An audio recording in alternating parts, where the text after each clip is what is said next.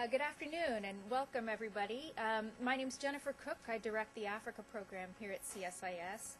And we're really just delighted uh, to have with us this afternoon um, the Foreign Minister of Angola, Dr. Assunção Afonso Sousa dos Santos. Anjos, sorry. My Portuguese pronunciation is not too good, but um, uh, the minister has, has been in his post since October uh, of 2008. Uh, he, ha- he is a diplomat par excellence, having served um, as the ambassador uh, of Angola in Portugal from 2003 to 2008, in France from 2000 to 2003, uh, and Spain from 1993 to 2000, uh, winning accolades and awards of all kinds in each of 1993 to 2000. Yeah, in Spain. Um, and uh, winning all kinds of awards in each of those pa- uh, places. Uh, he studied at Coimbra University uh, School of Law and at the Classic University School of Law in Portugal, uh, ending in, in 1973. He's had a long uh, career besides the ambassadorships in, uh, in the foreign ministry. He was director of the Office of the President, uh, director of the Office of the Minister of Planning, uh, director of Africa and the Middle East in the, in the Ministry of External Affairs, uh, and director of the first Vice Prime Minister um, uh, back in the 1970s. So he has a, a, a long and expansive um, uh, career in this, in this area. Uh, as I think most of you know, he's been here in Washington uh, to sign the Trade and Investment Framework Agreement with the United States, uh, something uh, very promising opportunity to expand uh, the relationship in the in the commercial and trade sector uh, uh, to to a range of, of new sectors beyond energy and oil. Uh, within that new TIFA agreement will, will be established a, a U.S. Angolan Council on Trade and Investment that's going to look at some of the issues on facilitating trade in terms of trade capacity building, uh, intellectual property, uh, labor issues, environmental issues, and regulations. So this is really, I think, a, a moment of big opportunity the perception here in Washington uh, is is that Angola is really a place of dynamism and opportunity, and I think the business sector is becoming um, increasingly aware of the opportunities um, that lie in in, in Angola. Uh, but I also think this is an important opportunity to expand and deepen the relationship in other areas as well. And we're very glad you're here. Uh, I think the, the the need for kind of senior level regular engagement here in Washington to get across to a Washington and U.S. audience kind of the broad range of challenges and opportunities in Angola is extremely important. Uh, there are opportunities in, in security, um, greater interest uh, in, uh, and the potential in Angola for big role in, in continental peacekeeping initiatives, in maritime security, uh, that affect the Gulf of Guinea. Uh, Angola is home to the Gulf of Guinea Commission uh, that, that uh, is, is one component of a broader regional maritime security approach. On regional security and conflict mediation, uh, I think the hope is as Angola emerges from its own, own conflict, it can play a greater continental leadership role on, on some of these other issues. Um, other areas are health. We've, we've hosted your health minister uh, here a number of times, Jose Van-Dúnem, uh, who uh, uh, spoke very eloquently about the challenges in Angola in malaria, in the neglected tropical diseases, in, in surveillance of, of new and emerging infections, uh, and of strengthening uh, the health sector more generally. Um, obviously, there remains the reform agenda and transparency issues, issues of, of deepening and consolidating uh, democratic uh, participation in Angola. Uh, uh, and finally, I hope too that the U.S. Angolan relationship can expand beyond the business sector to include much more people to people civil society engagement, uh, engagement with media, and so forth um, the, the hope is this is a big emerging, I think, leader on the African continent, and uh, I, I think it's important to have a broad and consistent dialogue on the many issues that uh, affect us both. We're delighted to have you here. As I said, we hope this is the first of many visits to come. And I leave the floor uh, to you. Uh, the minister will be talking about the new Angola and uh, Angola's regional role. Uh, so, Mr. Minister, welcome. Thank you.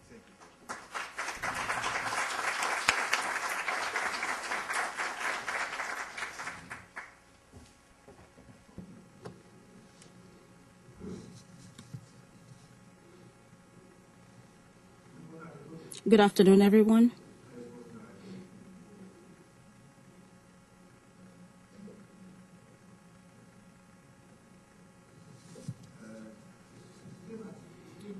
The topic, the fundamental topic of this speech for which I have been invited is precisely the new Angola and its regional integration. Before all, however, the truth is that I am here in Washington. And above all, I would like to make a brief reference to the objective of our presence here and the motive of our visit to the United States. I'd like to start by sincerely thanking Ms. Jennifer Cooke, Director of the Africa Program, and the Center for Strategic and International Studies for their invitation to participate in this prestigious forum. It is sincerely a personal honor for me and an honor for Angola. Ladies and gentlemen, Your Excellencies, this event is taking place on the last day of my visit to the United States. It is a time that facilitates the formation of balance. We can very quickly tell you how we did in the United States. We came here inspired by solidarity and friendship. We came here to strengthen, widen, and deepen in a global and multi-sectoral level the friendship with, between the United States and Angola. I would say better between the United States and the new the new Angola. Fortunately, there is a new reality in Angola. Angola is now a country that emerges that is filled with democratic projects that respects human rights, that is uh, devoted to its economic reconstruction. It is a country that grows economically. It is a country that has planned its economic development. And although Angola wants to fundamentally guarantee a good level of life to its population, it is, however, a country that has a deep solidarity spirit and searches to take to its neighbors and to expand to other countries in the region, in the southern region of Africa, in the central region of Africa, its stability experience, its experience of extinguishing internal conflicts. Angola has been progr- progressively called to participate in process of elimination of conflicts in the African continent. And Angola has been carrying out this task with a deep engagement and in some cases naturally together with other countries that are part of the SADC could it be our regional integration association or the CEAC or even countries that are part of the uh, Commission of the Gulf of Guinea, which is another very important structure of countries that aim to grant peace and security and stability of a very important in the Atlantic Ocean. Angola has been very committed, and in some cases, like the like the most recent cases,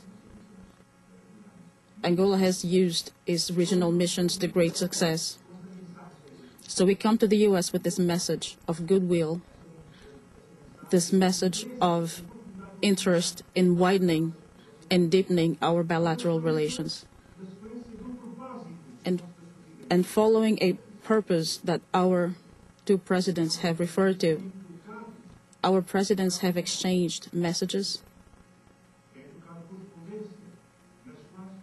They have been engaged in dialogue in which they have reaffirmed the firm interest in deepening the relations and widening commercial exchanges and to diversify our trade. There are also consultation mechanisms operating regularly so that the two countries interact in the solution of problems, not only in countries, but also at the global level.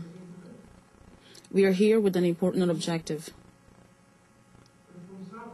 and we bring responsibles of several sectors that have been cooperating with the United States already. The military sector, we have been cooperating widely with the United States in the military sector. We have been conceiving a post war army, taking advantage of the vast experience of the United States and also its capacity. We have a responsible from the trade sector. To this purpose, we have signed the investment agreement between the United States and the U.S., which will allow a widening of our trade relations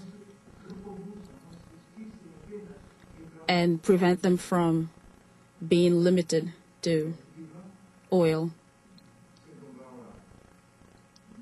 There is no doubt that since Angola is a is an important oil producer in sub-Saharan Africa, and I must say that all of you know that a great deal of our partners in this domain in the exploration and production of oil are great American oil companies. Also, it is important to underscore that great part of our oil comes to the United States of America.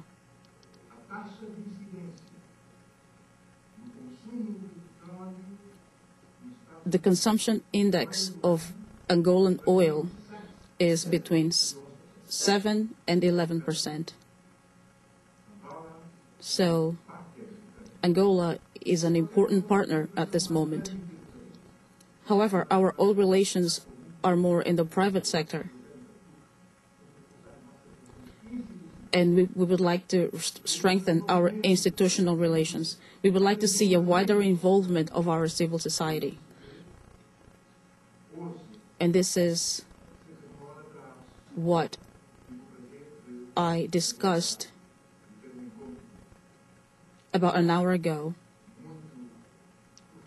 in a very deep meeting with Her Excellency State Secretary Mrs. Hillary Clinton, where we discussed the improvement of our bilateral relations. The meeting was extremely productive, and we defined the basis for for going towards the increase the increase of our cooperation.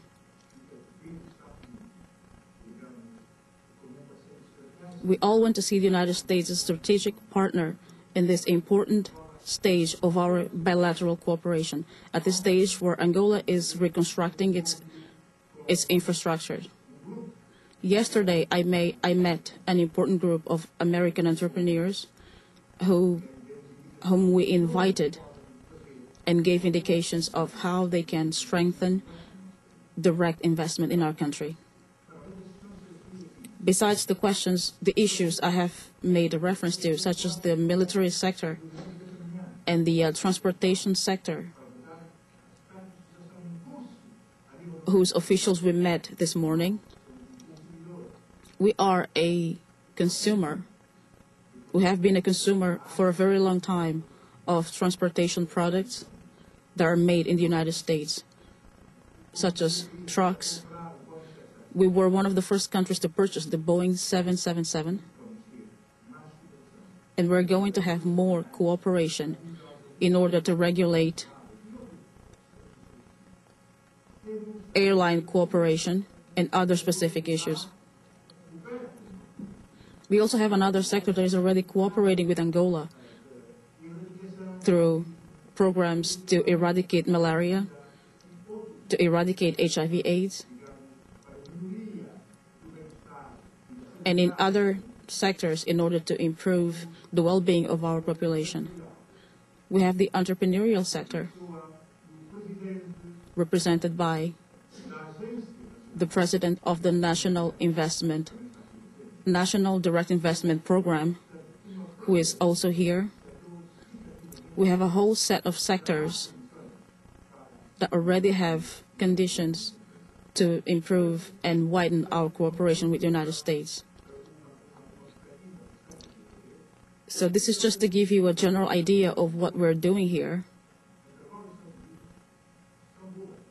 The relations between Angola and the United States are already good. So we want to increase their intensity and widen th- their scope.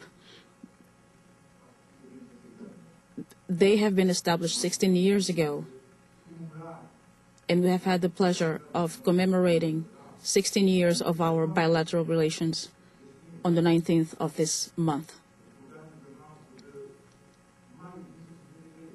Uh, and we recalled the 19th of May of 1993 when, we, when President Bill Clinton announced the beginning of the diplomatic relations between Angola and the United States.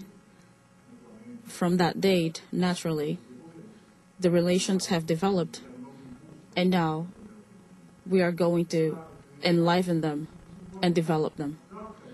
This, of course, requires more constant visits of country authorities. And we have also discussed that issue with the State Secretary.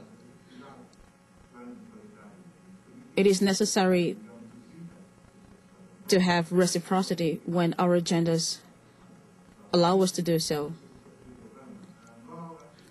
There must be visits from of Mr. Obama to Angola and from our president to the United States so that we give more consistency to our relations. And this was just a brief summary of what we're here doing and an idea of how consistent is the future of our relations. But going specifically into the theme I'm going to talk about, I must say that, and I'm going to give you a brief history because you will all recall the circumstances in which Angola gained independence in November 11, 1975. I believe, however, that at that time there wasn't what we all wanted. We didn't see what all Angolans wanted. We wanted the date of our independence to be marked for the resto- for the restoration by the restoration of our sovereignty and we wanted that to coincide with the advent of peace and stability. We assumed our sovereignty, but unfortunately, we could not gain peace because of invasions from external factors that destabilized our country enormously and fed a war that prolonged itself for 27 years there were also endogenous reasons, there were also internal reasons that led to a civil conflict that led 27 years. The war ended on April the 4th, 2002, and only then did we gain stability, stability and sovereignty and gain a better perspe- perspective to develop our projects and programs for the development of the country and for our affirmation as an important player in Africa and in the globe. Following the achievement of peace, the main priority of our government were, was to hold elections. Our first objective in a peaceful and stable Angola was to regularize our electoral calendar which had been suspended during the long years of war. And 27 years of war made Angola a country with disrupted structures. The country was basically in islands because roads were destroyed, communications were disrupted. We had about 5 million internally displaced persons, the great majority of whom resettled in the capital, running away obviously from war. So our main concern was to make the preparation for elections a true act that reaffirms our democracy. We are inherently democratic. Angolans believe in representative democracy. So we created the conditions for the electoral act to be to be something in which all Angolans could exert in liberty and in due conscience their sovereign right to vote. It was necessary to foster the democratic impulse and to increase democratic conscience so that Angolans could freely choose their representatives. That's what happened on September the 5th, 2008. On that day, we held the elections and we were proud. To give that example of participa- participation and, civ- and civism.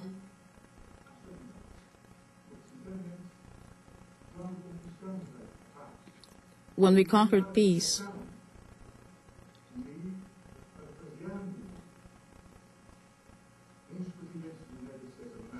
uh, to summarize one of the presidents of the U.S., John Fitzgerald Kennedy, who said, Peace is not the mere absence of war. And we had that perception as soon as we conquered peace, that it was necessary to give substance and consistency to peace. It was necessary that peace were followed by social change and dialogue that included everyone. And it was necessary to stop taking guns to fight one another. And the end of war generated another type of mentality. Angolans began to hate war and started to solve their problems in democratic institutional institutions such as the parliament where you discuss and resolve your issues. This democratic stability has been serving as, as a good example for us to take to other regions.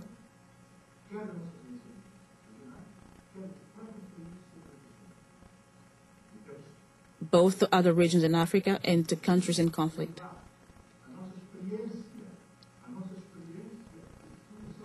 It has been good to take our conflict solving experience and to solve our problems through dialogue among Angolans. And this experience and this will and this desire to establish political stability and social stability through dialogue, through the respect of differences, through the respect for different opinions, and based on social cohesion, and use that as a basis for macroeconomic stability to create the basis for the country's development. Angola had an inflation rate of 3,000% a year. Today, our inflation is 10%. We intend to make it 9% by next year. We have experienced a elevated economic growth, as you all know. The last five years, we have seen a 17% level of growth. It is this type of experience that we would like to transfer to other places in the world. So Angola as a nation became independent and conquered peace. Angola does not forget its values. The values on which it bases its external relations.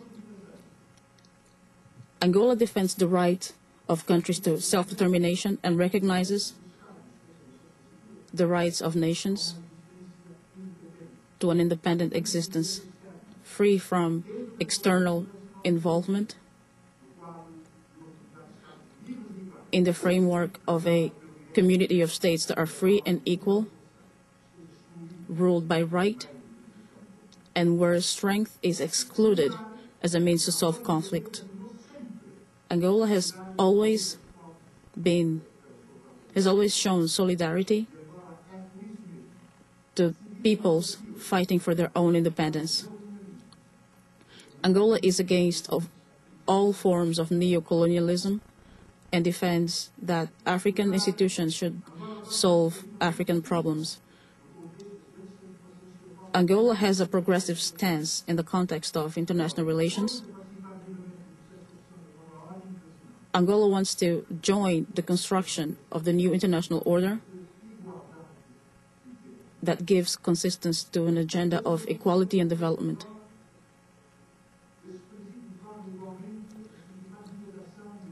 These principles are entrenched in the Constitution of Angola. And these principles also result from the latest legislative elections. Angolan diplomacy seeks to implement those principles and lines of action, both at the uh, multilateral plan and in its relations with other states, in its relations with the other countries of Africa and the other countries of the, of the world. We are a multilateral country by conviction, and we promote peace. Angola values the United Nations and its several agencies, and it shows its will to contribute in the strengthening and the credibility of, of the United Nations actions. And we want to participate in the reform of this institution. At the Angolan level, Angola is engaged in the SADC. It is also engaged in the uh, community of Eastern and Southern African states. And in the framework of these organizations, Angola thinks that answers to political issues and security issues must be sought.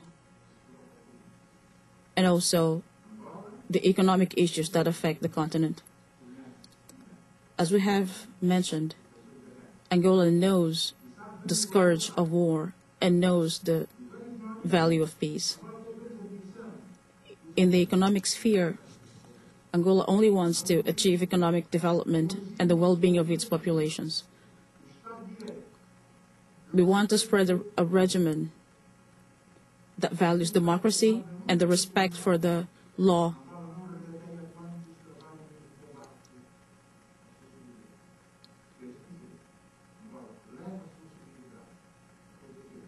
And Angola carries its solidarity to all those who have had to fight to restore their dignity. For these reasons I've just mentioned, Angola, without wanting to interfere in other people's issues and aware of its capacities, Angola would like to act as a moderating force and contribute to the resolution of problems that affect other countries. I'd like to refer especially to the two situations that have been marking the African political reality. Situations that deserve our attention. And that are happening in two countries that are neighbor neighbors of Angola, such as the Democratic Republic of the Congo and Zimbabwe. I avail myself of this opportunity to to integrate these issues in the principles on which Angolan diplomacy are based and to which I have referred to previously.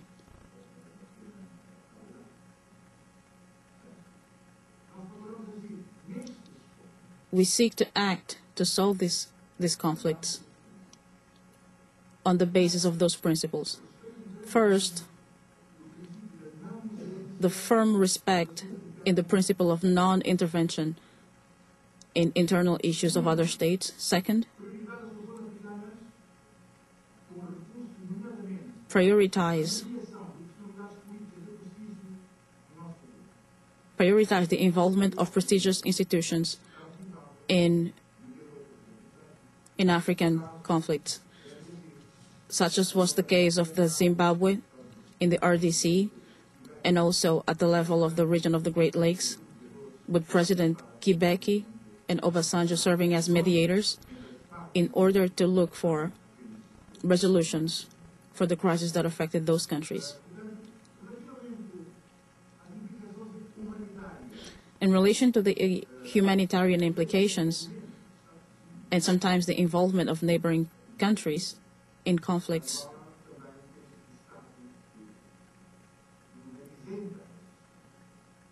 Angola has also been exempt from those issues. and seeks to give response to those conflicts with means that are adequate to those realities. Angola is also a part of the Portuguese speaking countries and has participated with those Portuguese speaking countries in the CPLP, which is an international forum where we have been promoting our agenda of equality among states, mutual respect, solidarity, and development. In the multilateral domain and economically speaking, we are present in the Economic Commission of Central African countries. We are also chairs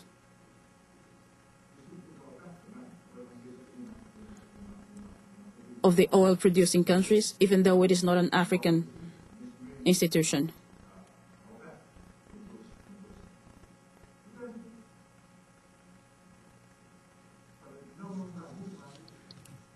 I wouldn't like to take much more time, so I'll say that it is necessary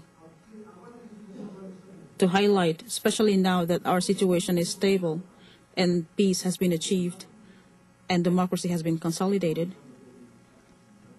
because our big objective is to consolidate democracy. We conducted legislative elections on September the 5th, and it was already agreed that Parliament would have powers to review the Constitution. At this moment, our Parliament and National Assembly is reviewing the Constitution in order to, to define the nature of our performance.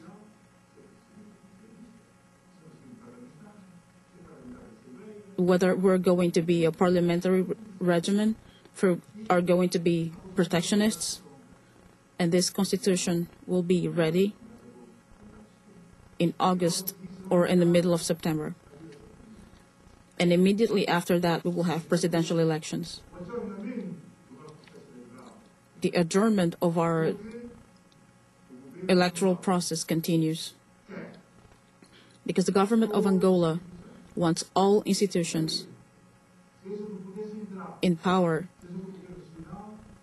whether they're central power or regional power, have electoral validity. And we want them to have been chosen by the people on the basis of the principle one man, one vote. One thing is certain, though, is that all electoral processes in our country will be based on on secret scrutiny. This is the key principle for us. In summary, Your Excellencies,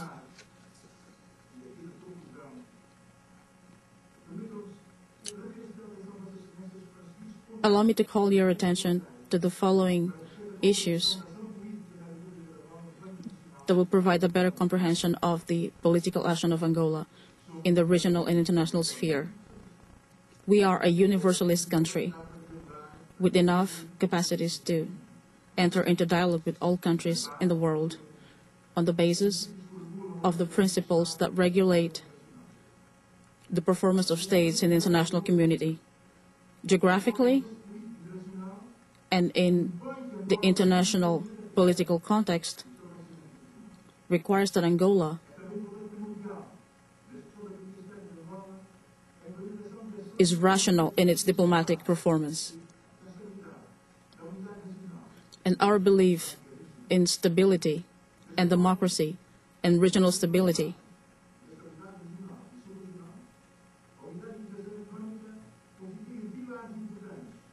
the unity and economic integration are pillars on which our action rests.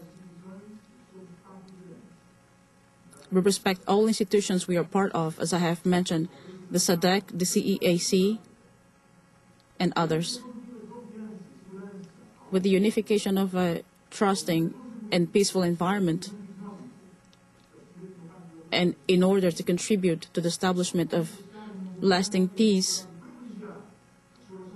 the foreign policy of Angola has been seeking to strengthen its diplomatic relations with other countries. And this is how we justify the engagement of my country in the search for solutions in countries such as the RDC, Zimbabwe. And I would like to reaffirm Angola's engagement in the principles of peace.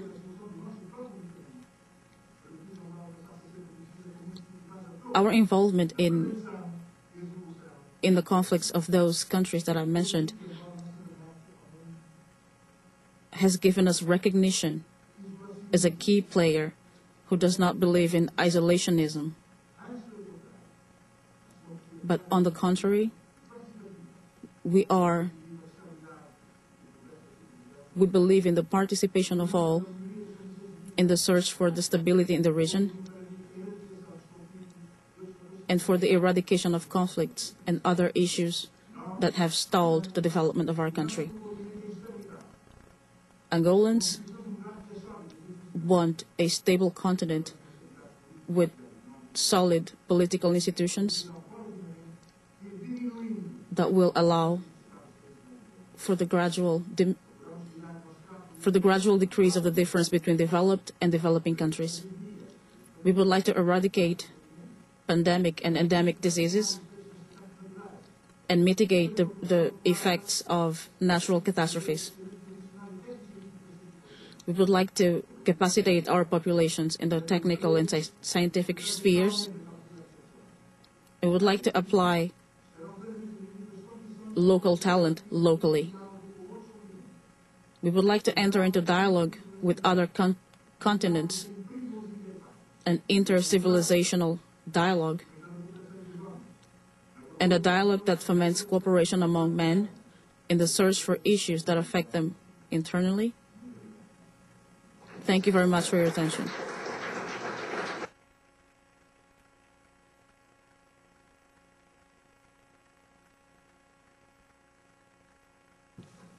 Uh, Mr. Minister, thank you very much for that uh, very comprehensive and, and forward-looking um, uh, agenda that you've set out. Um, bef- before we turn to questions, I did want to say a couple of thanks. I wanted to thank Ambassador Diakité and the embassy uh, for helping organize this, as we- well as Larry Julin and Michael Samuels. Thank you very much. And I. And I wanted to welcome uh, the Angolan ambassador to the UN, uh, who is here, uh, Ambassador Ishmael. Um, uh, thank you very much for being here, and to our own CSIS team for organizing this. Uh, also, a quick announcement. Gift of this to uh, the minister. a new publication that CSIS Africa program has just put out on U.S. Africa engagement.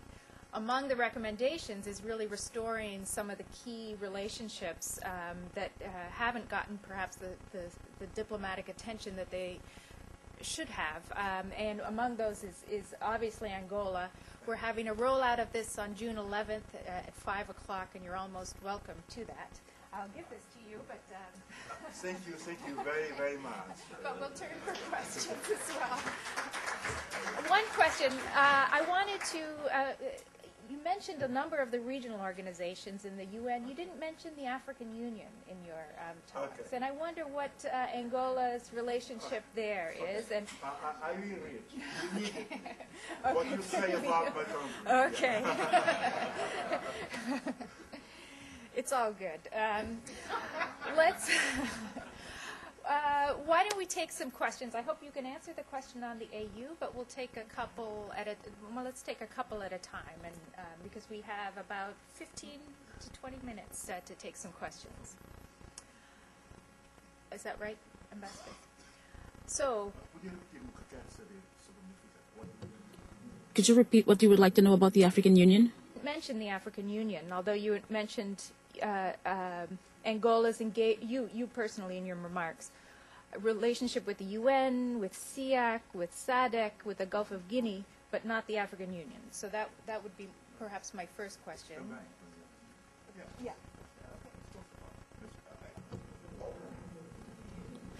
Um, and we have a question here. We'll take one here, one here, and one here, and then we'll come back for another round.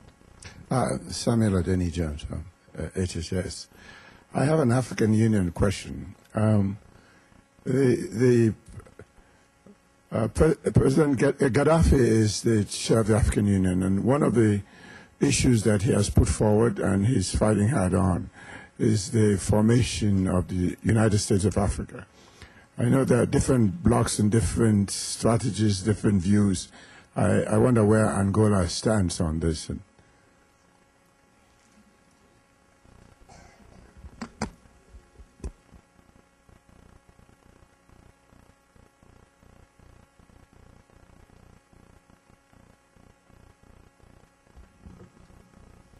Minister, thank you for your very uh, dynamic and forward-looking speech, as Jennifer Cooke noted. For some time, there's been discussion about changing the emblems of Angola looking forward, notably the flag, the national crest. There's been much debate. What do you personally think uh, is the future for the symbols of Angola? Will there be a change in the near term?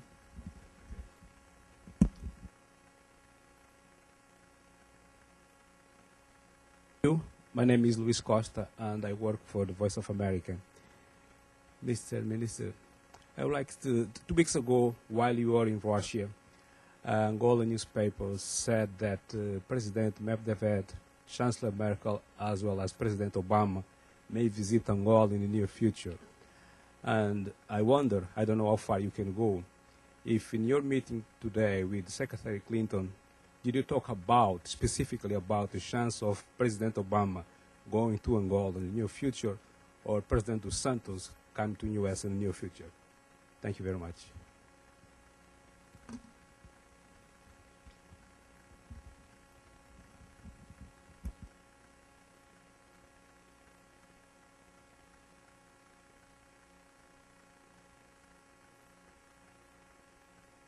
Perguntas colocadas.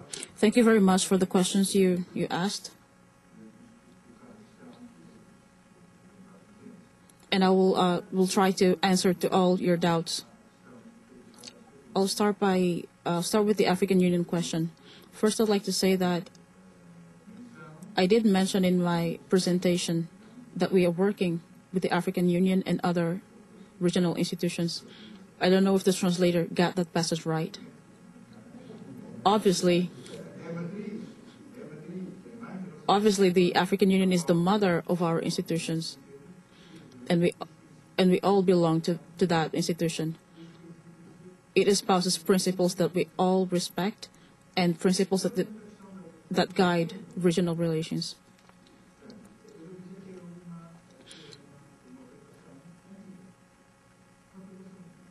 concerning the, the governing of this institution and the formation of the United States of Africa, I should I should say that this is an old concern. Not only Mr. Gaddafi, but we have all always wanted to create a common market.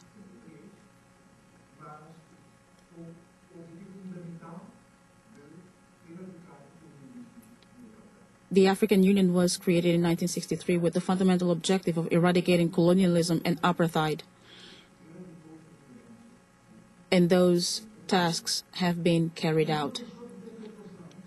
However, the African Union did not stop having economic concerns. For example, the Abuja summit in Nigeria in 1980, which was a summit only to discuss economic issues and the future of the organization of the continent in terms of a common market. There were other meetings specifically to discuss the uh, external debt of Africa, which amounts to hundreds of millions of dollars. However,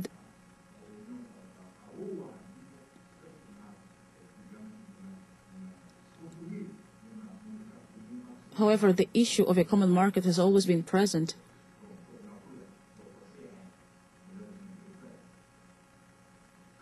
We wanted to create a market that is now that now exists in, in Europe.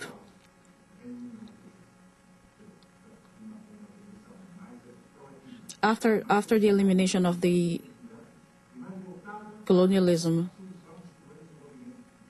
the organization of the African Union transformed itself into the African group in order to better deal with modern issues.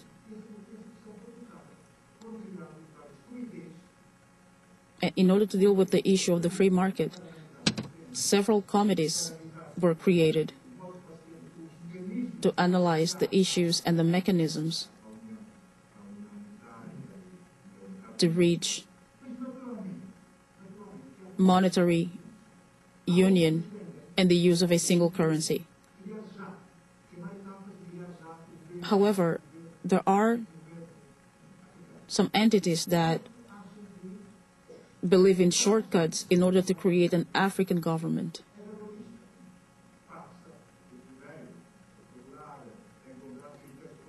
However, to do that, we must find common points. We must find points in which our, econo- our economies converge.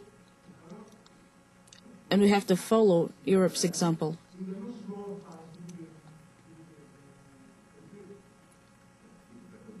The, Euro- the European Union has been in, in discussion for 50 years, but a European government has not yet been achieved.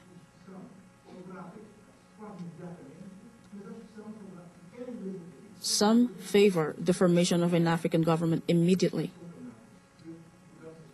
And though we want the same objective, we believe in structural and progressive changes until we reach the point where economies are, are ready to absorb a single currency, until we have similar criteria to converge, until there are no more disparities between one country and another. Europe took dozens of years to reach cohesion in order to develop different economies at the same level.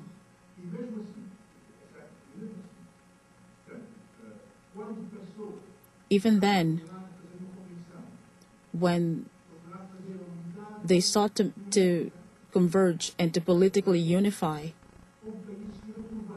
Europe, there were countries that reproached the process. The Lisbon Treaty was rejected by several countries. So this unification and integration process is not automatic. Naturally, Angola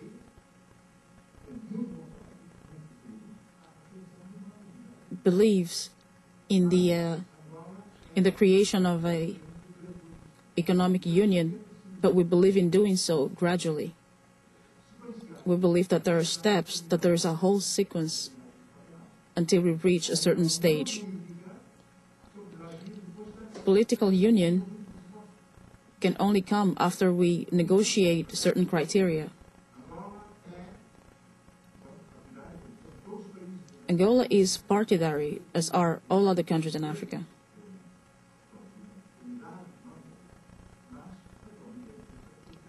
And we believe in a single government for the African Union. But, but that cannot be decreed by a legal disposition. And the strategy of the African Union is to promote more interaction among regional institutions, to gain consistency,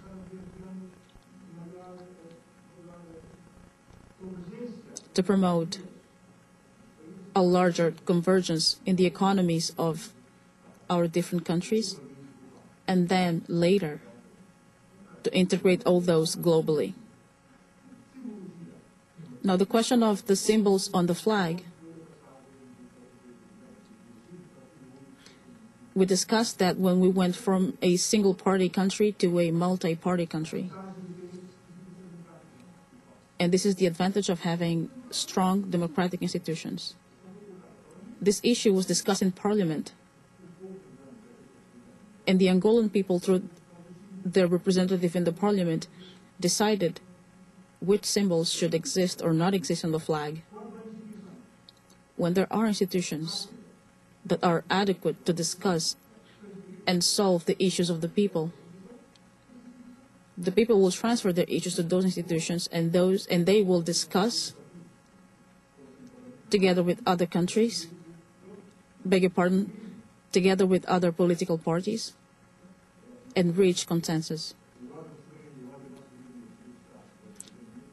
the organ of sovereignty respected the decision made by the people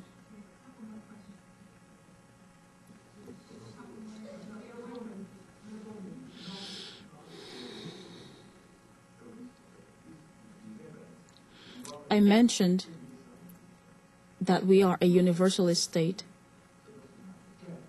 We, we are capable and we want to have relations with the United States and other countries.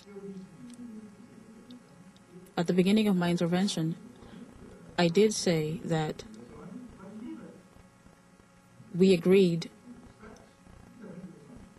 on exchanges from several delegations of different levels. I myself was in one of those delegations when we spoke to the state secretary. And we discussed the coming of our president to the US or a visit by Mr. Obama to Angola.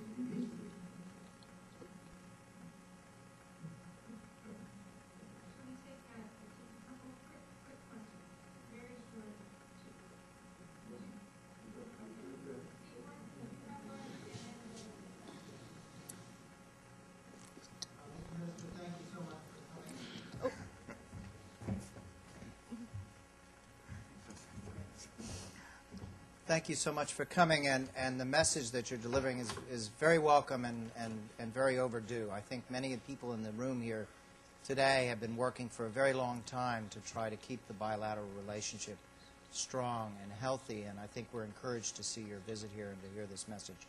My question is, looking into the future, in the next four years, five years, which areas in the bilateral relationship between the U.S. and Angola should move forward most rapidly? Is it the relationship with respect to building security capacity within Africa for peacekeeping, for management of militaries, for maritime security? Is it rural development and agriculture, which is emerging as a priority of this administration in its Africa policy? Is it expanding the health cooperation, which is also a priority in this administration? And there are many other areas that we could talk about, but it's, it would be good to hear from you what kind of partnerships are you looking for specifically in this next five, four, five year period? Oh, Can we, get- uh, should we get? uh, No, no, no, no, just- Okay, okay. Oh, we only get have you no- here no, so often. Sorry, you, you, you have no time.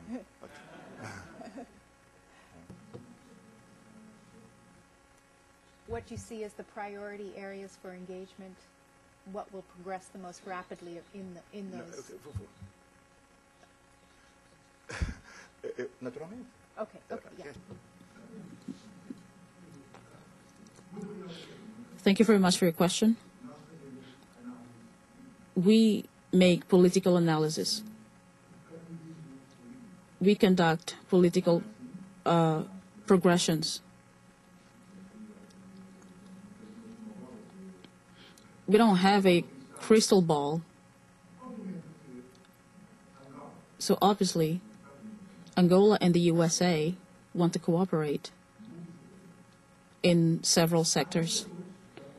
There are sectors that already have a great level of development. Now, it is certain that there are sectors that we prioritize. The level of infrastructures and agriculture and energy. So possibly those sectors will attract a lot of action.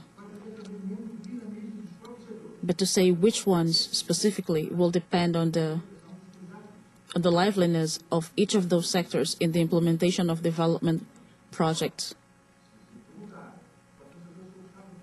Now, if you ask me which sectors I would like to see develop faster, first, I- would say issues related to persons in their global dimension. The man as a human being, and the man as the main actor of development. The health of man, to preserve the health of man, and to educate men in several domains, and to make men capable of being an important player in the development of the country. In the academic field, in the technical, professional, and scientific field, so that he is capable of help in the development, reconstruction of infrastructures,